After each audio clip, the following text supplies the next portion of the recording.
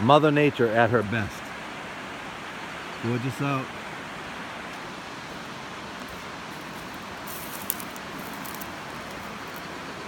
Wow.